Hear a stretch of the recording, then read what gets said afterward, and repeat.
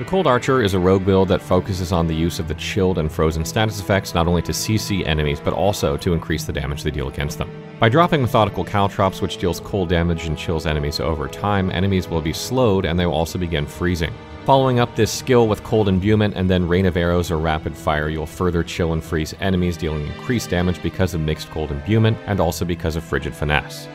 Having damage versus crowd control or damage versus slowed enemies on your gear will also increase the damage you deal against these targets. Every third strike of Forceful Arrow will also set the vulnerable status effect on elites and bosses, making them easier to kill. And lastly, the Exploiters aspect that you can find on legendary equipment will further increase your crowd control duration, but also increase your damage against enemies that can't be crowd controlled like bosses, allowing you to still deal substantial damage to them even if you can't freeze them.